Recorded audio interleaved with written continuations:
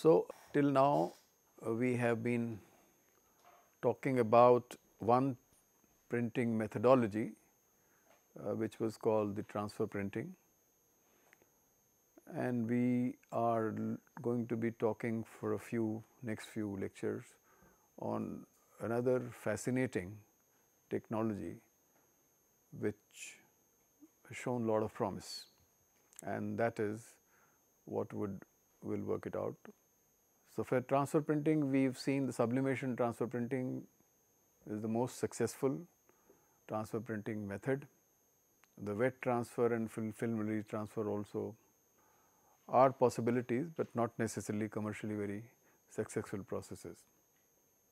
So, today we will look at what we call as an introduction to digital printing, just the concept to begin with and in subsequent lectures we will take specific issues related to digital transfer textile printing, digital textile printing. So, this in some sense is an extension or a nice way to a changeover in a thought process from paper transfer to directly printing the textiles. The way the printing industry went on to increase speeds and could print anything on the paper. So, people wanted to see why can't we directly use the technology to print textiles. By the time textile people got really interested, paper industry already had in one way or the other use the digital printing on papers. So, like you see inkjet printing of paper which is being done quite conveniently. So, people wanted to see why whatever is being first printed on a paper and then being transferred, why can't we use the same technology to print textiles directly. So, that is one motivation which has led to this industry. Interestingly, the initial people who got interested in making machines were very different people than those who were making textile printing machines. People like Epson who were making printers for paper printing, they got interested in this business. And so, things have progressed and we believe that they are going to progress further. So, today what we will look at is what is the market trend approximately and how do we say analog and a digital printing are two different sets and methods and possible advantages of digital printing. Some other thing which from the term point of view we will try to understand what we call as a spot and process colors. So, difference between spot and process colors, some essential steps and inkjet printing process of textiles. Let me just tell you for paper printing we have laser printing also. For textile printing till now there is no laser printing unless you make the textile behave like a paper. So, it is not happening. So, basically inkjet printing when we talk about digital printing we basically are talking about processes which are called the inkjet printing. So, sometimes you will see these things and any pre or post treatments that may be needed we just introduce will not be discussing this in detail. This is a fact which is generally very discouraging for anything which is uh, novel. The transfer printing that we discussed till now particularly the sublimation transfer printing just about 5 percent of the market it holds. Roller printing if you remember the machines is discussed taught in so many ways also is similar and approximately 5 percent. Everything that is printed today textile is screen printing. So, either you have a flat bed or you have a rotary. If you add them all, what remains? So, people can either see an opportunity or may like to get discouraged. Why go for a technology which hardly anybody seems to be using, right. So, what it means as an opportunity is that if it can offer things which the others cannot, then you can obviously account for it. One of the reasons has been that the people who were printing paper got initially uh, involved, it was good, but they did not know textile requirement. So, textile printed fabric has to be washed time and again, exposure is different. Printing of paper only meant everything is in the dark rooms, all pictures are dark. If you try to expose any printed paper to sunlight, it not take more than a few hours to few days before you see the change. While you expect in a textile that years of use also would not change much of it.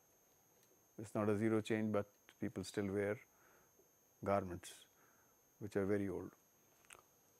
Then the width, general width of printing of textiles is very large.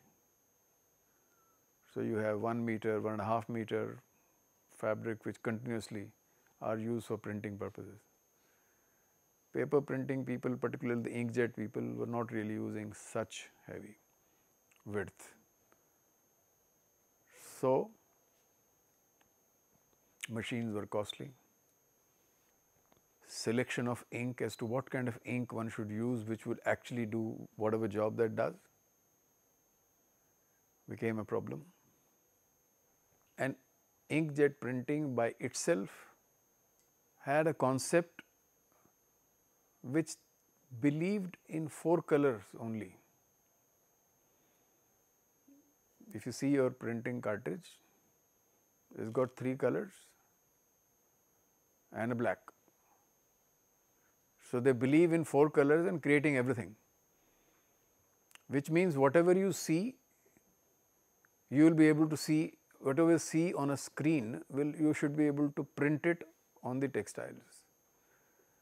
That means the kind of dyes that you have to generate, they have to be so standard, so standard that if you mix them, you will get exactly same response which you get on a screen, which was a challenge. First the challenge is making such a big printing machine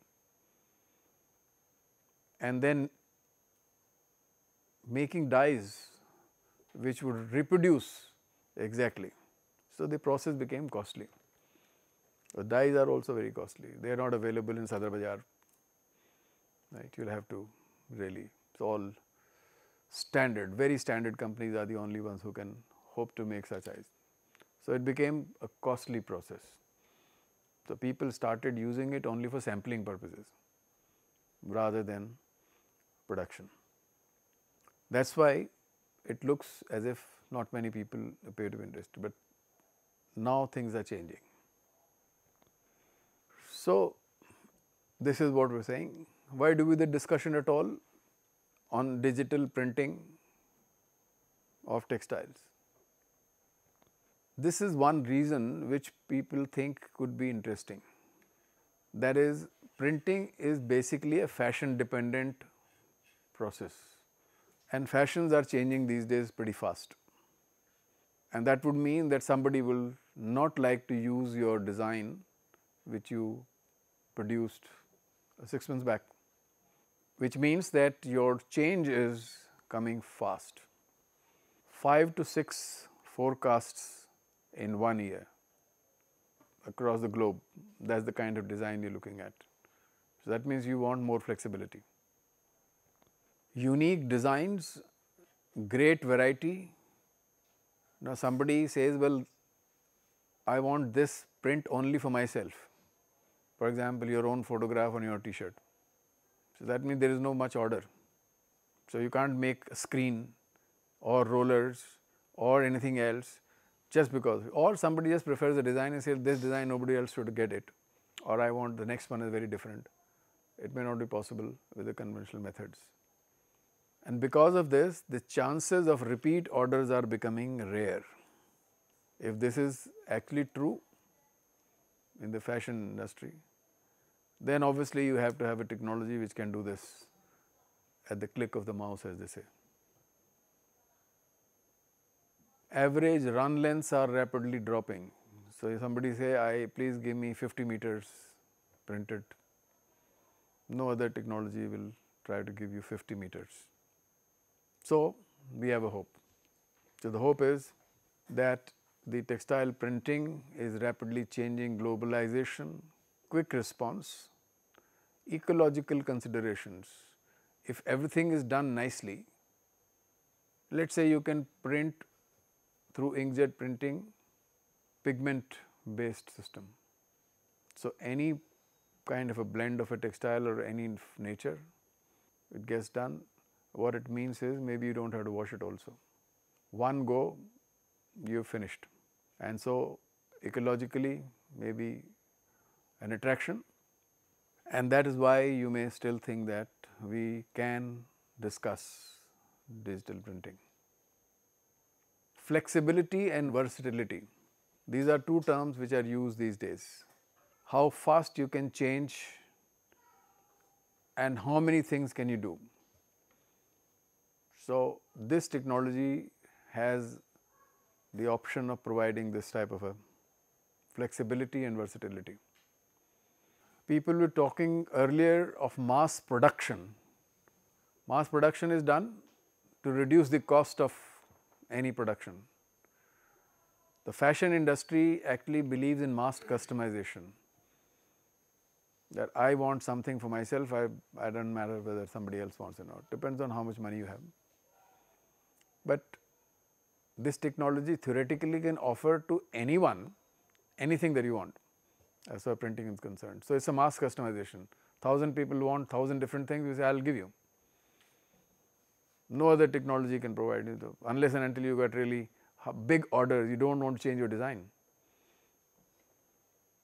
As we mentioned before also, short runs, I said has little as one unit only. This no other technology can even think of offering an unlimited design. Designs, there is no limit. Well, I can give you 10, I can give you 20 designs, whatever you want, I can give you, that kind of thing. So, we have a comparison as they say in the electronic word digital versus analog. So, from our purpose, the conventional printing method can be considered analog method, where you do block making, roller making, screen making and do manual separation of colors. Then you make tracing which are manual, screens are made. All these take time whether they are manual or mechanized. And not easy to customize. Unless your customer is big and you have order big order then you customize, but it is not individual customization and therefore, we said it is a digital which means allow short runs at economical cost, short runs at economical cost. Larger runs will always be more economical. If somebody gives you a digital printing design order of 10,000 meters, you will probably make uh, more money. But the interesting part is the machine cost remains fixed, which could be quite high. The ink cost will also not change when you use more meters to be printed. If suppose you require 20 percent area being covered in the design per meter and you whether you print 1 meter you print 20,000 meter, the percentage of ink required to cover the 20 percent of the area will remain the same. And so, electricity and other costs that you have infrastructure that also remain same. So, this is one technology which does not say that if you have large orders that your cost is going to come down unless and until you also have a pre and post processes needed to do that. Then larger orders will become more cheap. So, in some sense particularly a few type of uh, printing systems obviously will be creating green image. Very, very expensive methods of screen preparations are avoided. Changing from one color scheme to other and one design to other is simpler and cheaper and less time consuming. When somebody used to say initially that well this is the kind of a design please make and design and show before approval, 6 to 7 week is the minimum time that was required. So, which obviously in a textile scene could be reduced to 2 to point two and a half weeks.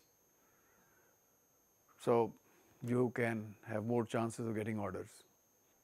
Definitely for sampling, short runs and mass customization that is what we are looking at.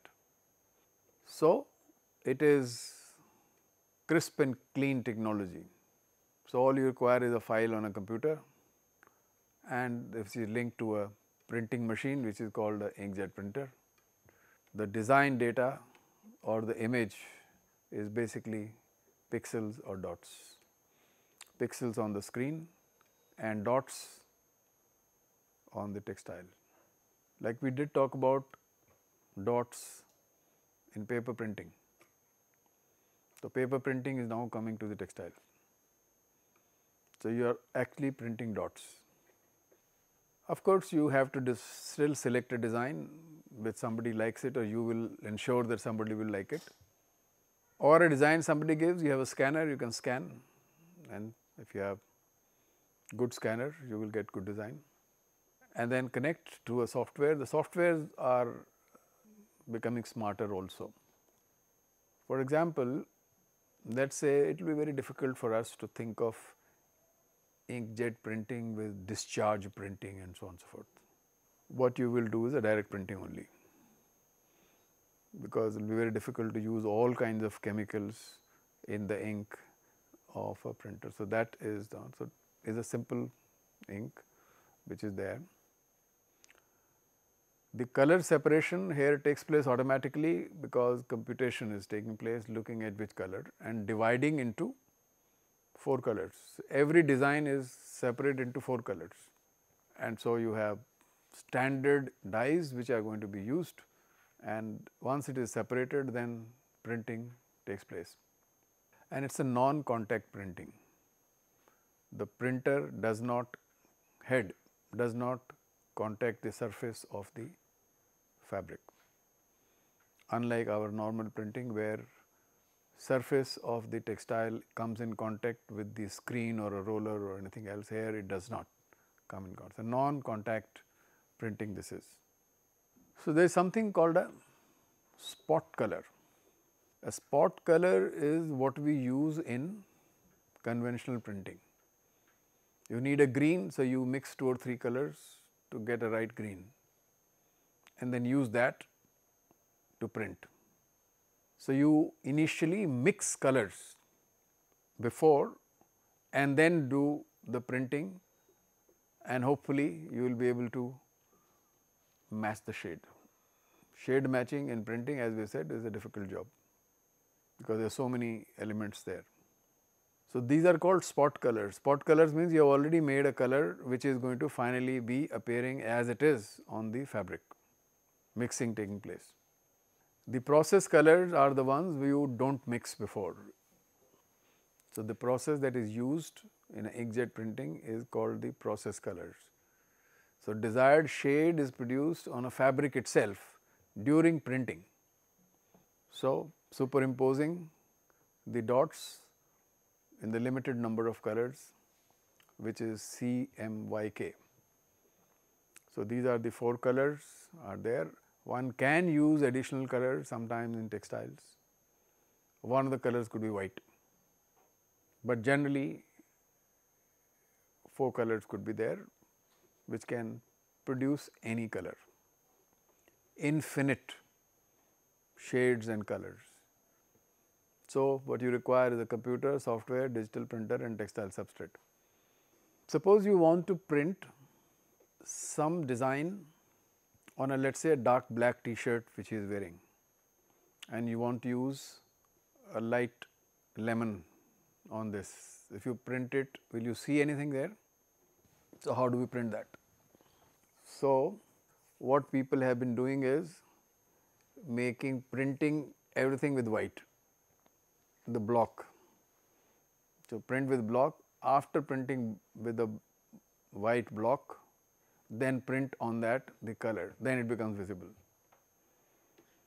So, you make a square or a circle or whatever and then in between then you make all design. So, which meant that it is not the thing that you wanted.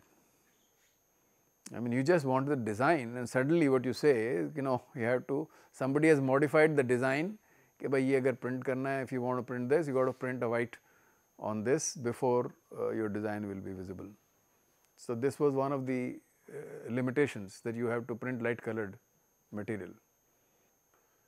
Till the software were designed in a manner that yes we can print white so that the light colors also look good, but it will print exactly the white where the overall design is.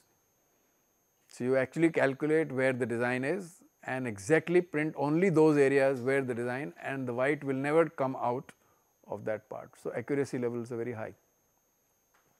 So, one thing which is here is accuracy.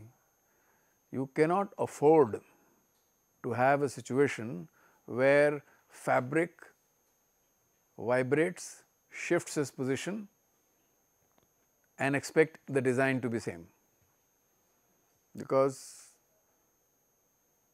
this is a non-contact tail. So, the drop will be thrown wherever the head is and so if your fabric is shifted, so dot will be somewhere else. And therefore, the software obviously does so one of course has to make sure that the fabric goes the way it is supposed to go and today the software can print the white exactly where the over complete design is, wherever there is a no design there is no white and then in the second stage you print the design. And so, hardware is very important here which is a printer, the costliest material. You have choking of normal screens and you say well wash it everything and then clean. If a printer head chokes, you have to basically change. There is no nothing cleaning of a printer head. So, it is a costly. So, you have to maintain things and this probably will be also a technology which would like the printer to have an environment which is almost air conditioned. If you run a machine 24 7 in a dusty environment, you never know what will happen and what will happen on a print is a separate story. What happens to the machine is a greater concern that despite everything else. The printer is costlier simply because the printer head if you have seen the inkjet printing machine, it is the printer head which moves from one end to the other. It takes time for something to move from one end to the other before the fabric gets further or pushed out. So, the speeds are slow. So, suddenly somebody said that if you have a printed paper, I can run transfer printing machine at almost 500 to 1000 meters per minute hmm? or per hour. Here those kind of things uh, per hour you will not be able to do it, okay. but that is okay. But now what they are doing is in the hardware segment that one it moves the head moving together may not be one, there will be a block of heads moving together. And so, in one go they print quite a lot when they come back also they print It is not like going and then returning. So, returning to the station means twice it has printed and one can think of having four heads running together. Big machines may even want 8 heads running together and which would mean that the per meter printing speed should increase. So, inkjet technology looking at some drops being generated and thrown. So, different principles are there which we will of course talk in more detail uh, whenever we meet next time. So, but think of this what you are looking at is 50 to 60 microns in diameter. Photo quality image can be created here as well, all right. So, these 4 colors will do. So, what exactly happens in this process color is that the green is not made by putting one drop over the other. What you are doing is a drop next to it, no drop falls over each other.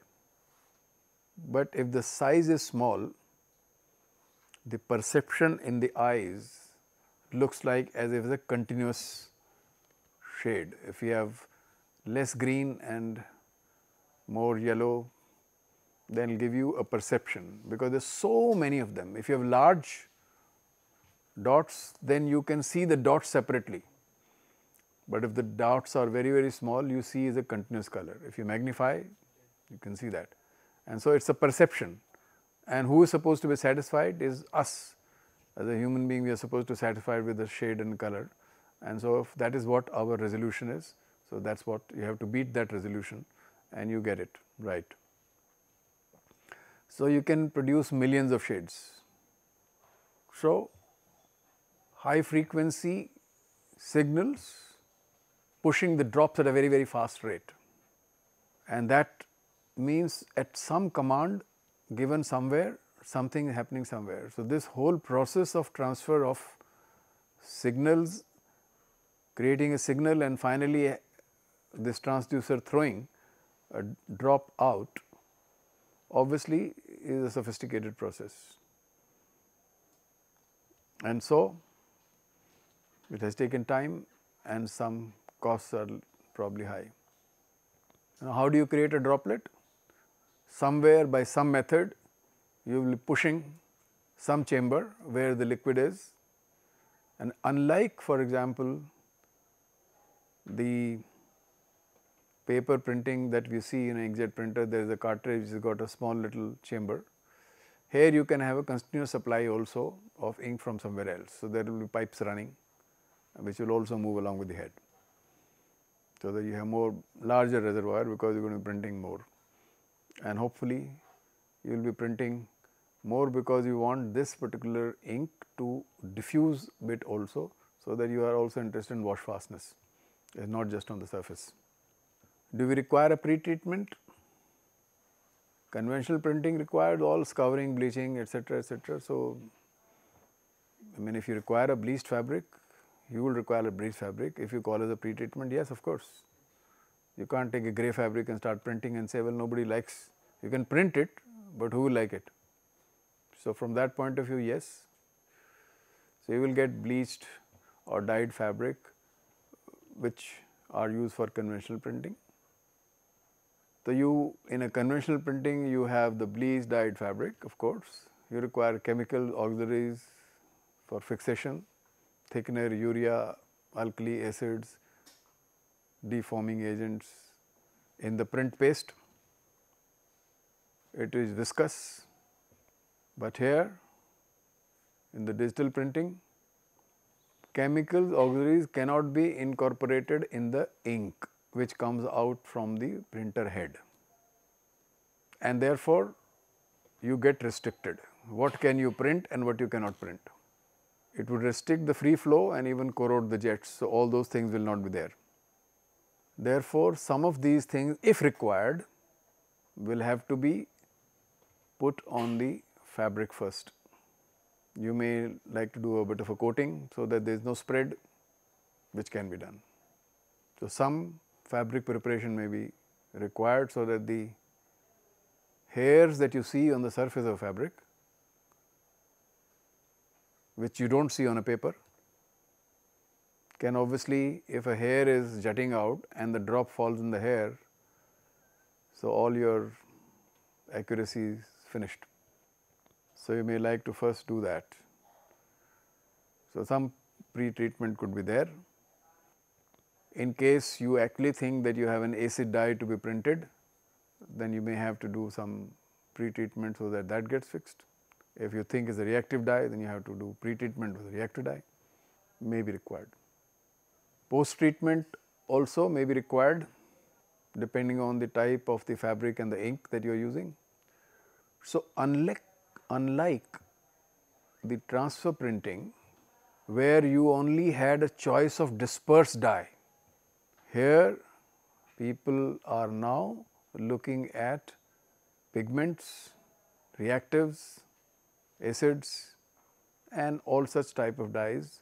So, there is a choice of substrate also change. Otherwise, you said only polyester, maybe other synthetic fibers, but again only polyester. So, that transfer printing in a way is limited to a particular dye and a particular substrate. In the inkjet, you are not so much limited because the inks of different types are available now. And so, different type of fabrics also can be printed, which means that well silk, wool, cotton, nylon and blends because if pigment is there without the problem. So, looking at what is happening at the ITMA, it appears the interest in the this printing technology is growing at a faster pace. If we get a chance, uh, we may visit one of the textile, digital textile printing houses here and see how they earn. But of course, you are doing, if you are printing hydrophilic fibers, then obviously the washing and other steaming fixation also have to be done. So, printing is only one part then. If you are doing pigment, then that is the last process, you can go straight. I think that is what would be what we call as introduction, which means we know where do we stand, we understand what is digital analog printing, spot and process colors, basic steps and why pre and post treatment may be required in digital printing as well. That is it, we stop thank you